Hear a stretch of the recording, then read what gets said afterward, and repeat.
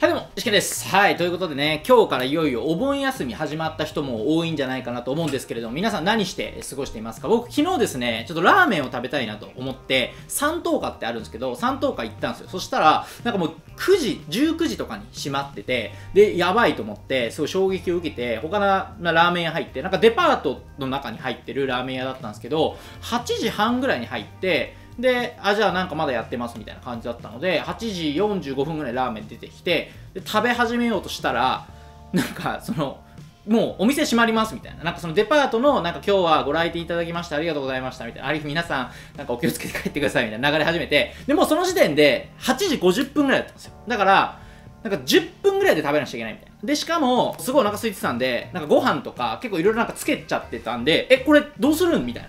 でも、もし、店というか、その、丸ごと閉まっちゃうので、なんか急いで食べなきゃいけないみたいな。で、まあ、なんとか食べて、もう本当に苦しかったんですけど、まあ無事に食べきったっていう話なんですけど、もうだからそのデパートとかも21時とかに閉まっちゃってましたし、東京都だと、まあほとんどのね、夜のお店とかが22時とかに閉まるということで、そのラーメン食べて帰ってたらもう本当に街に人がいなくて、あ、もうこれお盆とかって経済回んのかなみたいな感じで、まあ結構びっくりしたみたいな。話があるんですけど、皆さんね、どんな感じでお盆過ごすかとかをぜひ教えていただければと思うので、今回のお盆休みの間でもどっかでね、えー、配信とかをやっていきたいなというふうに思うので、皆さんがどんな感じで過ごしてるかとかも、えー、お話できたらいいかなと思います。はい、ということで、えー、今日雑談からね、スタートしたんですけれども、今日のテーマはこちら、え野党合流民主党の歴史とはということでやっていきたいと思うんですけれども、最近になって、立憲民主とそれから国民民主という野党の2党が合流するみたいな話が聞こえてきました。で、具体的には、この透明をめぐって選挙で決めますみたいなニュースが昨日ですね、報じられたりとかしていて、あ、なんか野党っていうのがまたごちゃごちゃしてるなと思った人も結構いるんじゃないかなと思うんですけれども、実はこの2党ってもともとは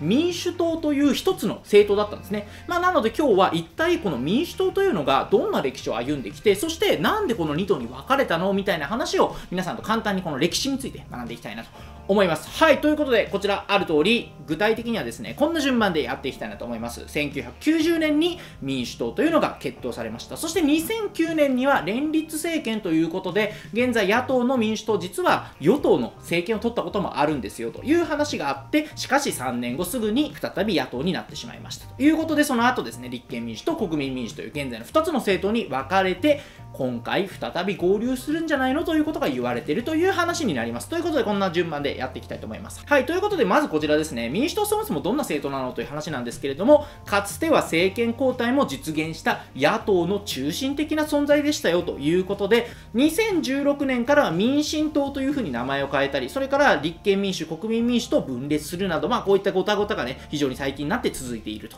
いうところで、現在合流目指して透明、あるいは政策などを調整するというところになっています。はい、ということで、じゃあ具体的にその歴史、どんな感じなのというところなんですけど、まずこちらある通り、1990年代ということで、ま、今から30年ぐらい前になりますが、与党自民党と当時の野党であった日本社会党というのが、55年体制という、こういう流れをずっと作っていたんですね。戦後というのは、自民党がずっと第一党の与党として、まあ、強い力を持って君臨してたわけですけれども、この体制が長らく続いてたと。で、これをなんとか壊さなくちゃいけない、新しい風吹かさなくちゃいけないというのは、ずっとっと歴史の中で、日本の戦後の歴史の中でずっと続いてきたんですけれども、これをですね、55年体制というふうに言ったりしますが、この時ですね、90年代に、いや、これは政治と金がもうこんなに政治が腐敗しちゃうのは、自民党がずっとあぐらをかいてるからだということで、野党がいっぱい出てきたんですね。その時に、この民主党というのも生まれたということになります。96年に菅直人と鳩山幸夫が民主党、旧民主党を設立するということで、後に2人とも総理大臣を務めるわけですけれども、この2人が民主党を作るということで、この野党の第1党となる民主党の歴史というのが、ここでスタートするということになります。98年には名前も同じなんですけれども、厳密にはこの2つ分けられるんですけれども、民主党というのがついに決闘されて、そして2000年の衆議院選挙では127議席を獲得するということで、いわゆるこの与党自民党、そして野党民主党を合わせて二大政党なんて言ったりしますが、2000年代の日本の政治というのはまさにこの自民党対民主党というこの2つの政党が戦うというような構造をとっており、自民党、この時期はですね、小泉政権ということで、小泉泉純一郎が非常にこう自民党をぶっ壊すぞみたいな改革するぞみたいなことで結構自民党も勢いあったんですけれどもそれに負けず劣らずという形でこの菅直人だったり下に映っている小沢一郎非常にこれもね権力の強い剛腕な政治家みたいなイメージ強いかもしれませんがこの小沢一郎とか鳩山幸夫とかこういった民主党の面々というのがこの自民党とバチバチ戦っていったというところがこの2000年代の野党の話になるわけです。そしてこの小泉旋風というのがあったにもかかわらず長年積もり積もってきた自民党与党自民党に対しての不信感と政治に対しての不満だったりそういったものがず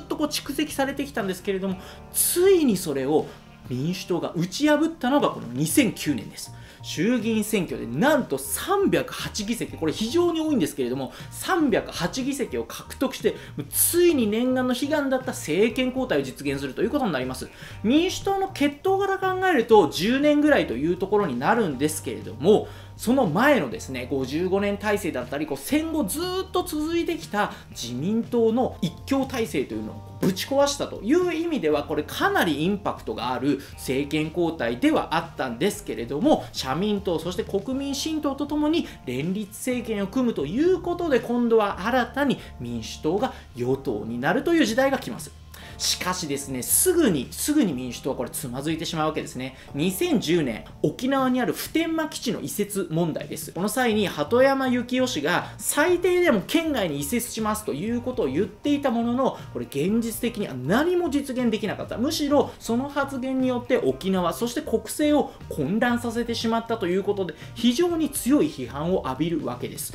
これによって鳩山幸夫首相が辞任するというところになりますが、もうこの時点からちょっとあれ？民主党ちょっと大丈夫？本当に政権任せられる？というような空気が出始めてきます。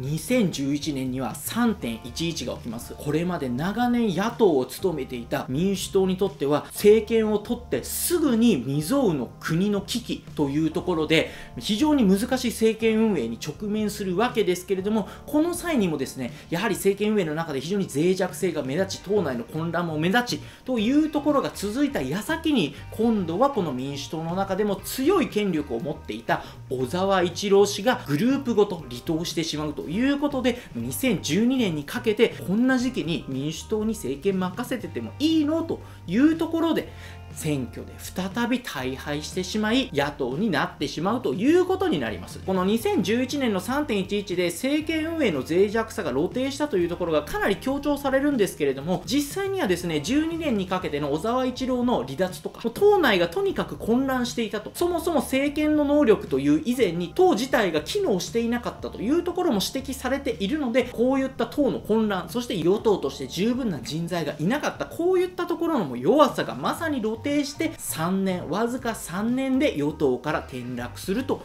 いうことになってしまうわけです。しかし2016年にかけて民主党内の混乱はますます続いていきついに維新の党を吸収して20年にわたって続いてきた民主党という看板を下ろして党の名前自体も民進党に変えるということになります。その後も混乱党の分裂というのは止まらず2017年には枝野幸男が立憲民主党を設立してそして2018年には民進党自身も国民民主党に命名称を変えるということになりました。現在ではこの立憲民主の方が第一党になってしまい国民民主についてはその次の政党というところになって野党の弱さというのがまさに露呈しているような状況になっているということでこの2020年再び旧民主党系の野党であった立憲そして国民が再び合流するんじゃないかということが報じられているんですがまたまたここで透明あるいは政策などでまとまらずということで政策ならばまだしも党の名前でそんなごちゃごちゃ言ってたら国民からの信頼ますます離れていくよというようなことも指摘されてるということになります。はい、ということでざっくりと今日は野党民主党の歴史というものを見てきましたがまさに現在自民党の一強体制というのを覆すことがができる野党というのが生まれてないということで国民にとっても選択肢がないだから選挙に行ってもどうせ自民党が勝つんでしょうという声が未だに根強いというところなので今後の野党の動きどうなっていくのか果たして再び二大政党制というのが戻ってくるのかというところも注目できるんじゃないかなというふうに思います。はいということで今日も最後まで見ていただいてありがとうございました。面白かった参考になったという方はチャンネル登録それから高評価もよろしくお願いします。ではまた次回の動画でお会いしましょう。